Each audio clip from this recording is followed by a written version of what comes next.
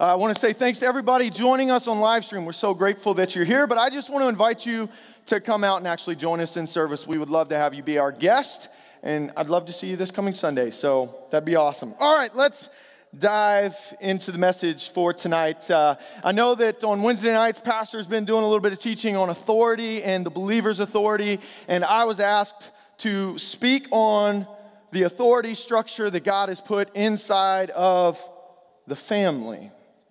And I'm excited to do that. So, we're going to talk about the authority structure of the family according to God's word. And to do this properly, we need to go all the way back to the beginning of the Bible in Genesis, and we need to understand what authority is at its core. And I think this is really cool. In Genesis 1 26 and 27, and I'm reading from the NIV uh, just in case you're caught off guard by the way this is wrote. It says this Then God said, let us make mankind in our image, in our likeness. So we are image bearers of God. God says this. We're going to make something unique out of all creation. God created everything. And out of all creation, He said, we're going to make something special. And we're going to make this in our image, in our likeness. They are going to bear our image. And He made humans. So that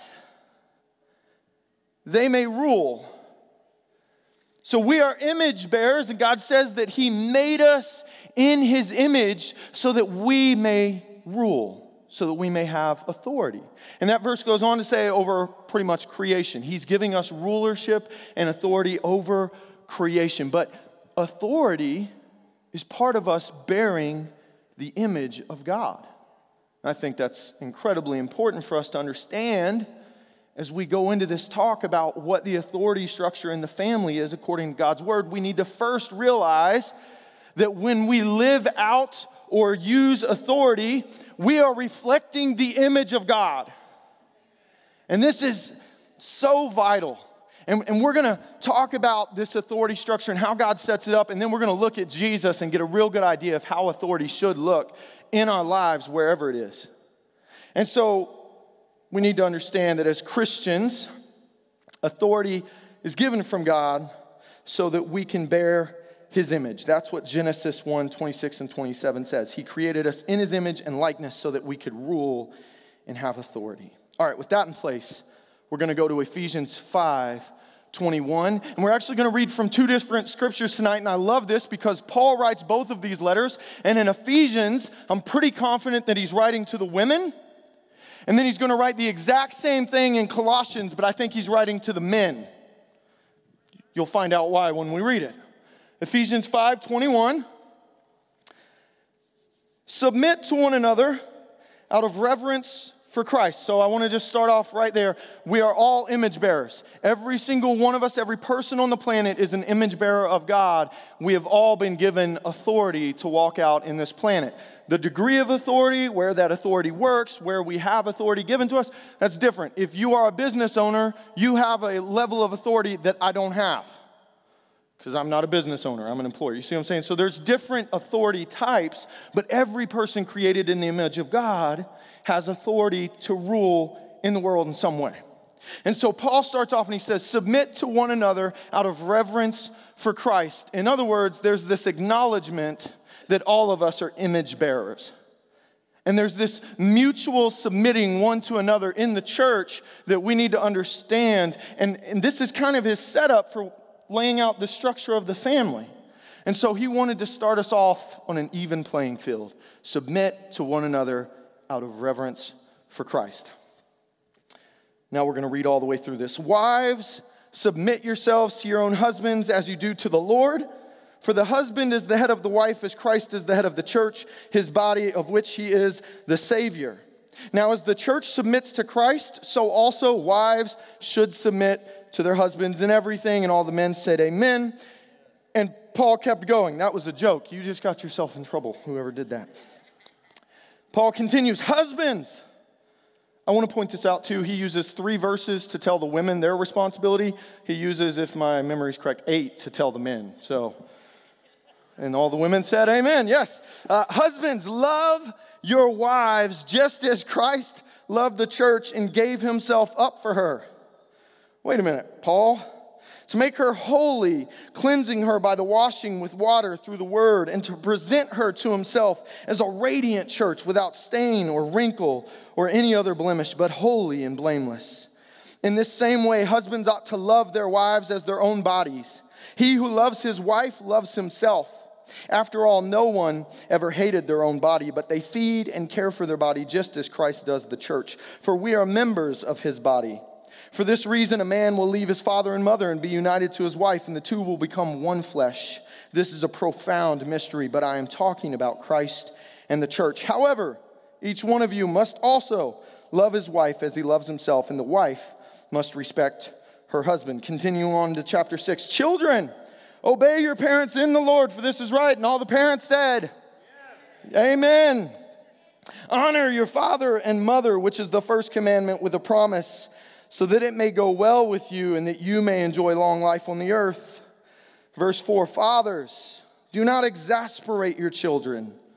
Instead, bring them up in the training and instruction of the Lord. And all the children said, Yes and amen. That was how he wrote it to the Ephesians. For kicks and giggles, let's read how he read it or wrote it to Colossians. Colossians 3:18 Wives, submit yourselves to your husbands as fitting in the Lord. Husbands, love your wives and do not be harsh with them. Children, obey your parents in everything, for this pleases the Lord. Fathers, do not embitter your children, or they will become discouraged. The end. That is quite a stark difference. You know what I'm saying? That's why Ephesians is for the women that like the details. Here's what you're going to do, here's why you're going to do it. Colossians is for the men that just say, Give me the rule and I'll roll with it. I don't need all the fluff. At least that's my interpretation of it.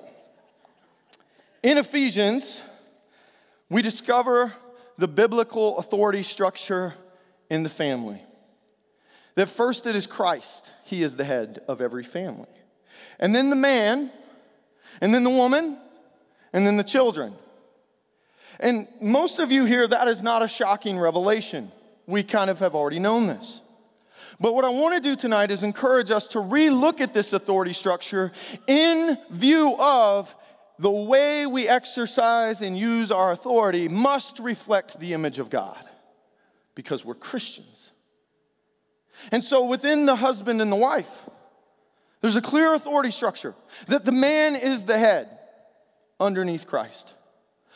But yet there's this weird thing that we got to wrestle with is that later on in this same exact chapter, Paul says something mysterious happens.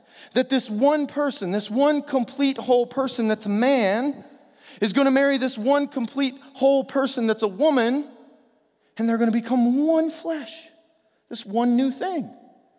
Which for me makes me stop and go, this is kind of weird to be like, you're one, but one of you's authority over the other one. And so here's what I want to show. Here's what I want to help you grab a hold of. Authority, when man is the chief authority of the home underneath Christ, it is not saying that the woman is inferior to the man. That's not what Paul's saying at all. In fact, Paul starts his whole argument by saying there needs to be a mutual submission one to another. And then he does clarify for us that in this mutual submission, the man is still the head of the home. At the end of the day, that man is responsible. But then he goes on to explain what this responsibility looks like to a man. And it looks a whole lot like dying. He says, You got to lay yourself down. You've got to. You've got to serve her. You've got to love her as if she is your own body. So here's what we discover from Paul in these scriptures. I'm going to give you four things that we kind of can pick up on if we look at this. The first thing is this that our use of authority should reflect the heart of God, as we've already declared. The second thing is this is that if you look at what Paul says, there's equal respect, honor, and value given to both the husband and the wife, and there has to be because you're one. You're one person. You're still your own personalities and stuff, but it's kind of, Paul says this is like the church in Christ we are in him and he is in us, but yet we're still we're still our own person. We're not robots anymore. And he says somehow there's this mystery within marriage that this happens. And we discover in scripture that we're to actually work together in unity. So, this authority structure doesn't really look like a tyrant or a dictator.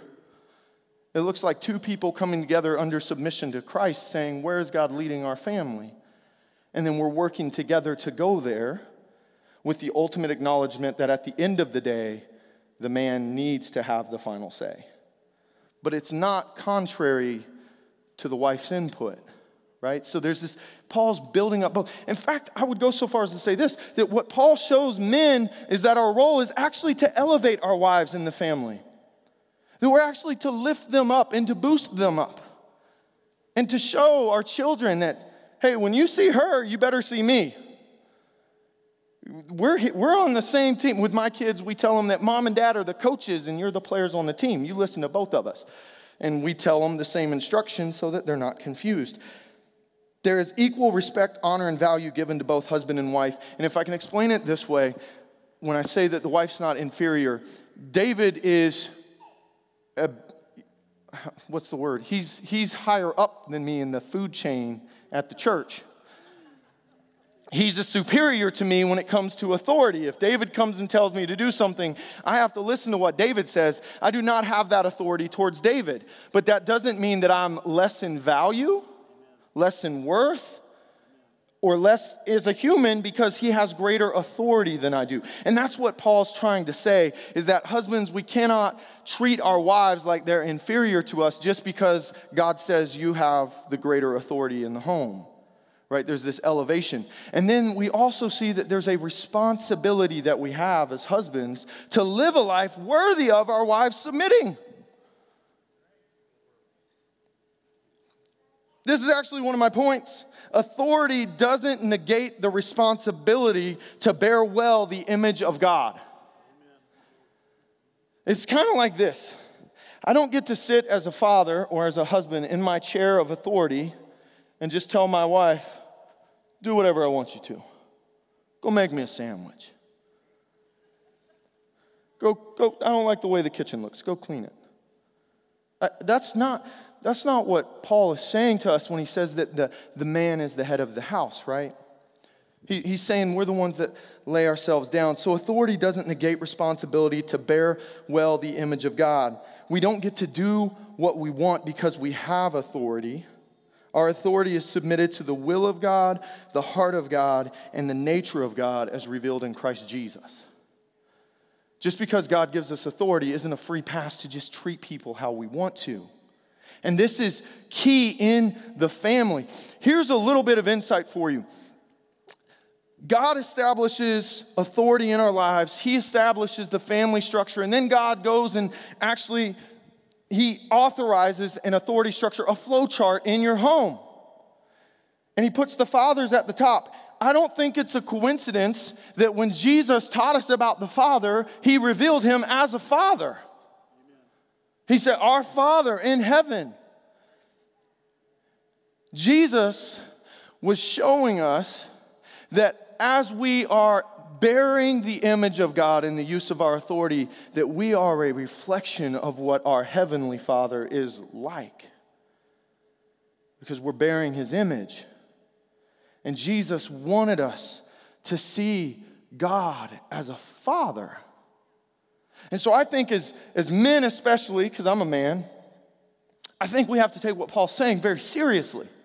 And we have to really form how we walk in this authority that Scripture says we have based on Jesus.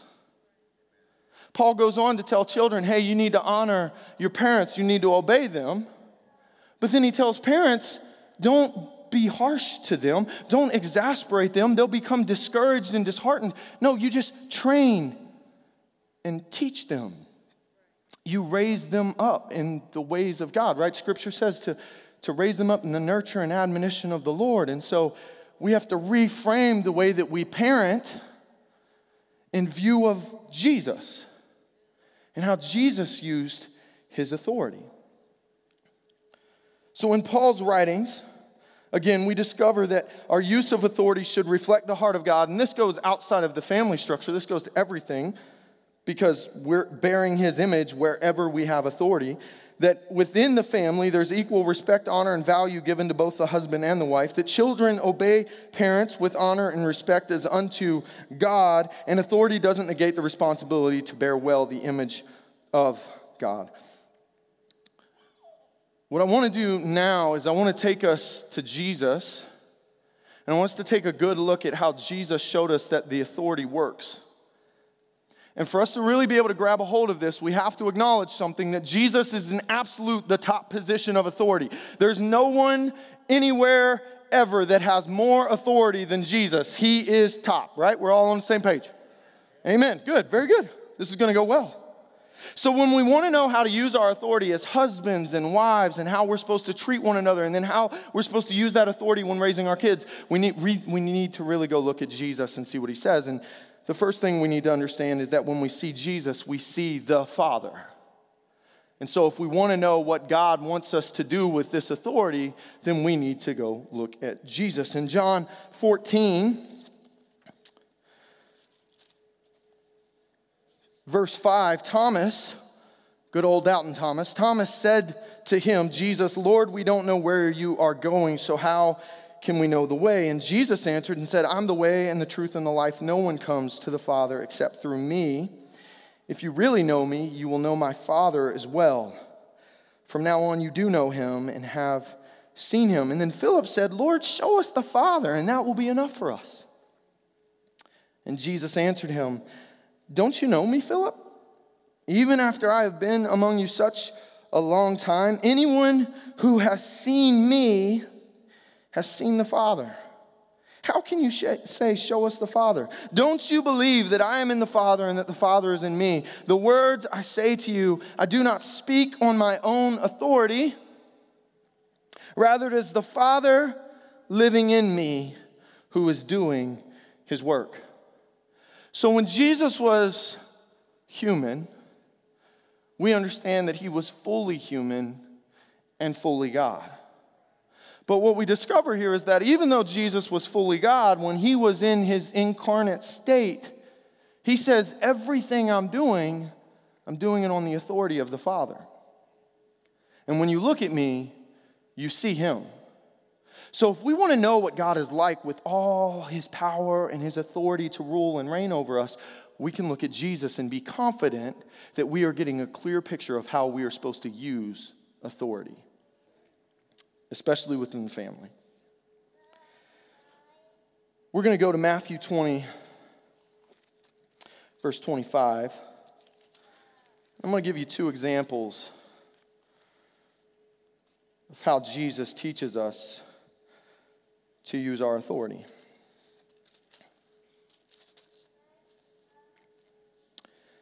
I'm going to start in verse 20. Matthew 20, verse 20.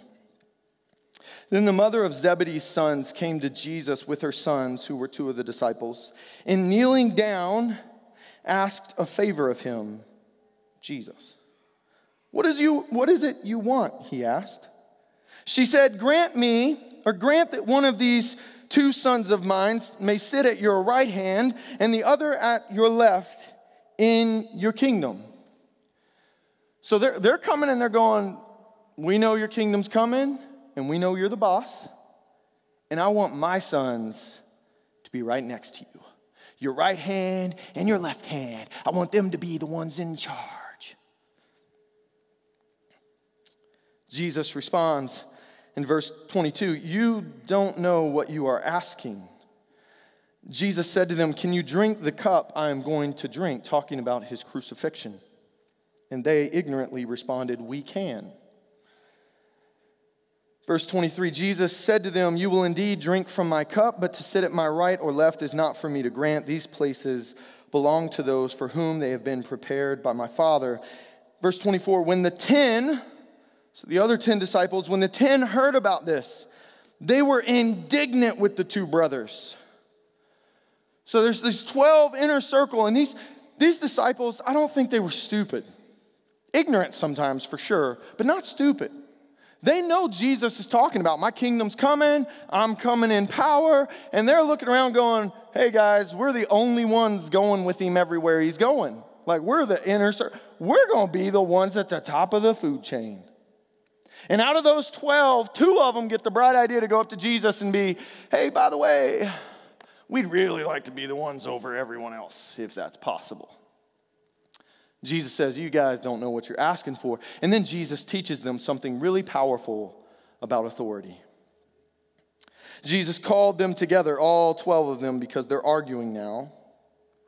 And he says, You know that the rulers of the Gentiles lord it over them, and their high officials exercise authority over them. Immediately, remember, Israel is being occupied by Rome at this point. So when Jesus says, You know how the Gentiles lord their power and their authority over their people. And immediately the disciples would go, Yeah, they, they oppress them, they rip them off, they take all these taxes, they, they cheat them. They would immediately start to think of this. And what are they doing it for? These lords and these people in power are taking from the poor and the less powerful to benefit themselves.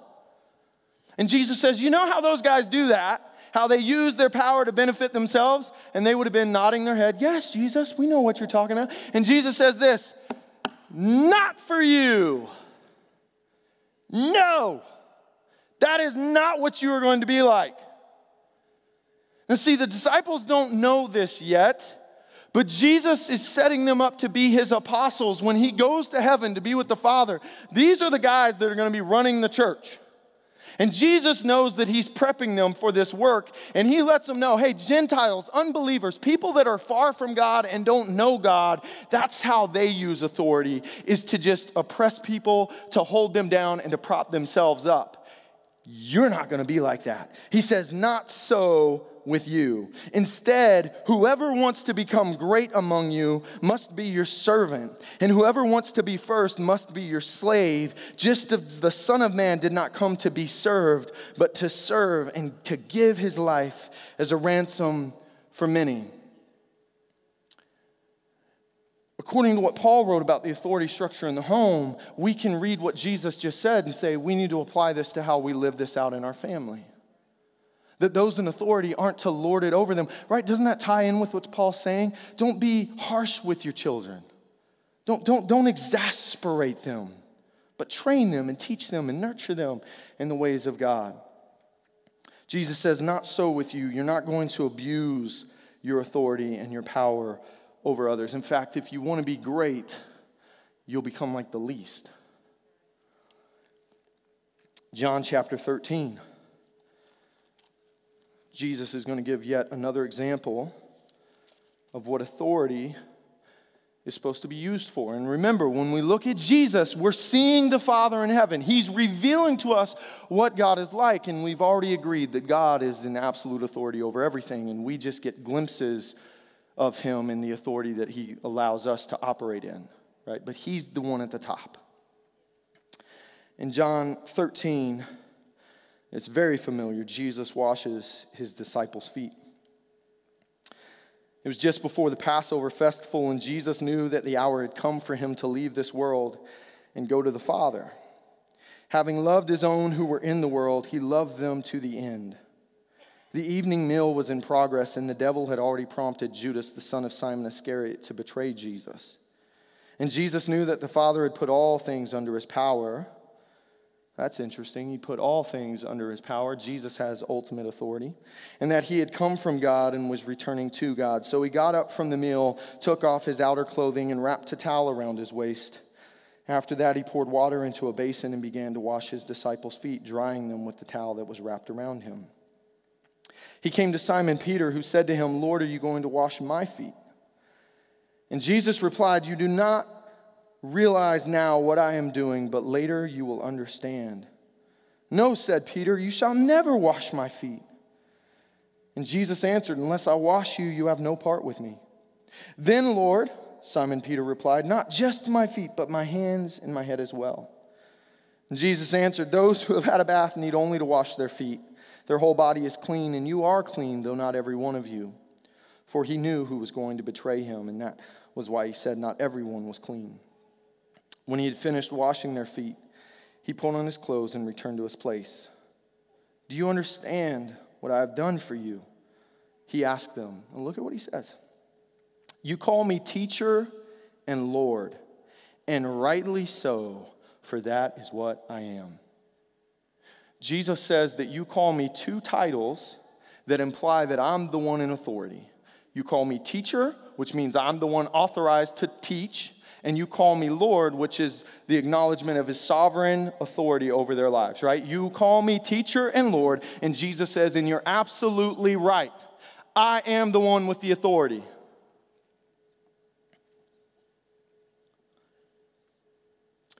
Now that I, your Lord and teacher, have washed your feet, you also should wash one another's feet. I have set you an example that you should do as I have done for you. Very truly, I tell you, no servant is greater than his master, nor is a messenger greater than the one who sent him. Now that you know these things, you will be blessed if you do them. Let me ask you a question. Because to be sure, Authority means we have to make decisions. It means we have to set guidelines and we have to set boundaries. And parents, you're responsible for setting those things in place so that your children can't just do whatever they want to do. There's things out there that will hurt them. And so we set boundaries in place because God has established us as the authority to do so, right? And Jesus says that I'm the one in authority. You call me teacher and Lord, and you are correct in calling me that. Here's the question When Jesus got out of the chair and took on the position of the servant, did he lose his authority? No.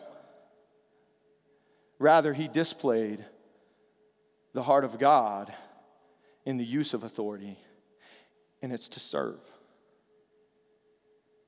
And as Christians, we don't just look at this and say, it'd be easy for me to pull David up here and to be like, David, let me wash your feet. But when my children are being disrespectful and rebellious, am I going to pull my son up here and be like, you know what? Let me wash your feet? Is, is that my heart towards my wife? Because this is what Paul communicated to us is that wives submit to your husband, but Jesus says the one in authority is the one that should get down and serve. And Paul echoes that and he says, Don't just serve, lay your life down. Like you love your wife like Jesus Christ loved the church. I have the authority in my home. Am I going to use that authority to abuse and mistreat my family? Because I have the authority? Or am I going to be like Christ and use my authority to bless them and to serve them? This is what Paul's communicating to us in Ephesians and in Colossians. This is what Jesus reveals to us. Can I, can I tell you that fathers, especially, there's research out there, you can go look this up, but but do you know that the way you treat your children when you claim to be a Christ follower actually affects the way they view God? Wow. I need to make sure that even though I can claim I'm the authority in my home, that I do less of this and more of this. And here's the real simple like application point. Any of us here who aren't just trying to be that one teenager that always, you know, has to be the, ah, I'll do the thing you don't want. Any of us here, if I said, what kind of household do you want to grow up in? The one where your father just sits in a chair all the time and says, do this, do that. Come wash my feet, son. Get over here and wash my feet. Or, or would you rather grow up in the home where your father comes up and says, I got rules and boundaries. I'm an authority, but I want you to know that I love you. I'm here for you, and I'm going to be the one that blesses you. I'm going to be the one that protects you. I'm going to be the one that provides for you. You don't have to worry about a thing. When daddy's here, daddy's got your back. Daddy's not going to mistreat you. Daddy's not going to be harsh with you. Daddy's going to show you what God is like. Mothers, God bless you. You, if you, you know, like my wife, she's at home all day. I don't know how she does it. God's got special grace for women that stay home all day with their kids. But how do you want your kids to view God? Because some of you are in the situation where there's not a father present. And your kids are going to look to you to see what God is like because you also are an image bearer. And in that situation, you are the ultimate authority. Do you want to be the type of mother that's, come wash my feet, kid? Just do what I tell you to. I don't care what you think. Just do what I tell you to. Or do you want to be the type of mother that does more of this and your kids see what God is like? Now, I'm not perfect at this. I'm really not perfect at it, especially when I'm on little sleep. But this is what we see in Scripture. This is what authority in the family is supposed to look like. That we are demonstrating to our children within the structure and the safety of our family that that's what God is like. That He's not an authoritative, harsh, exasperating type figure who demands you come and wash his feet. No, he's the type of God that even though he has all authority, he'll lay his life down. That's what authority's been given to us to do is to reflect our Father. And so, when it comes to the authority structure in the house and the authority that we have as parents, as husbands, as wives, and the children absolutely honor and respect your parents, for this is right. It pleases the Lord. And added bonus, you're going to set yourself up for a pretty good life when you do that, according to Scripture. So you should rock that boat. But, but all of us would agree we'd rather live in the home where we see more of that serving type heart than the authoritative abuse of power, just do what I say. We would all say, yeah, we'd rather have that, which is why we got to keep looking to Jesus because it's very easy to drift out of that. But Jesus said he came to show us the abundant way. And I'm convinced the more that we come to Jesus and say, I'm not really good at this part of getting off the chair and serving but see, I don't lose my authority when I get off my chair and I bless my wife or bless my children. And mothers, you don't lose your authority over the children when you get down and serve them, right? We're not losing authority. Jesus didn't lose his authority. Actually, he revealed the greatest use of authority bless and serve. Amen. And I just want to I want to pray for all of us that we would grab a hold of this and that we would use wisdom from the Holy Spirit as we live out this authority that we've been given because you have been given it. Parents, you have been given it. Don't let your kids run your house, but run your house reflecting first upon how God uses His authority and then reflect that to your children and to your spouse. That's what Scripture calls us to as Christians. And I'm confident that because Jesus is leading us into the abundant life, that if we will do this, that if we'll seek God and become those types of families, not only will our families be blessed, not only will our spouses be blessed, not only will our children be blessed, but the families that see you, imagine the witness that they're going to see. Imagine your kids when they're over at a friend's house and their friend's parents are those authoritative ones that are just barking orders and telling them to come wash their feet. And your kids are like, wow, my parents aren't like this at all.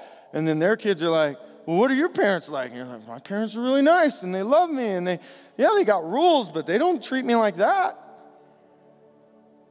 What kind of witness are we to the world when they see the heart of God revealed in the way that we use our authority in the family structure that God has put in place? So I'm going to pray for us that, that the Holy Spirit will move on our hearts. And here's how I want to encourage you because as I share this, I got convicted just writing the message. I was like, man, there's some things I've really messed up with my kids. And I'm new at this. So I can imagine that some of you who have teenagers now, you might feel like, wow, I kind of blown this a little bit. That's okay because God redeems the time. God will show you how to heal everything. I mean, He's just really good at reconciling. That's what He does. And so I'm going to pray that those of you that feel like maybe you've blown it, that you'd find grace in Jesus and that you would know that God will heal whatever wounds there are. God can do that if we just continually seek Him. But we have to be the ones to make the decision to yield to what the Holy Spirit's leading us to and to honor God with the image bearing that He's given us in authority. So let's, let's pray together. Father, I thank you so much for your word, God. I thank you that it is life to us, Father, that it reveals to us the way, the truth, and the life, that it reveals your Son to us, and that your Son, Jesus, reveals you.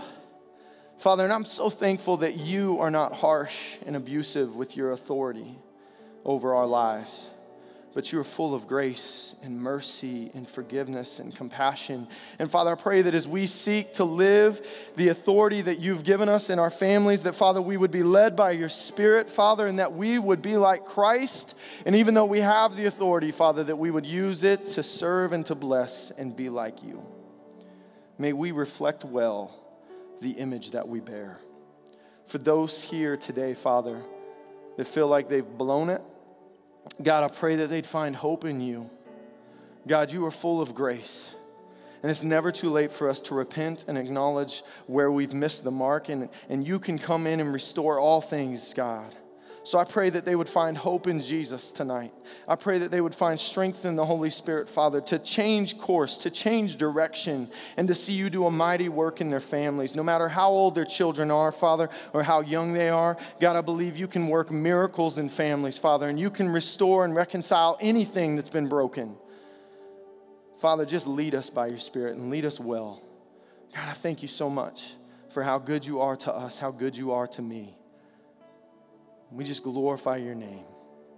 In Jesus' name I pray.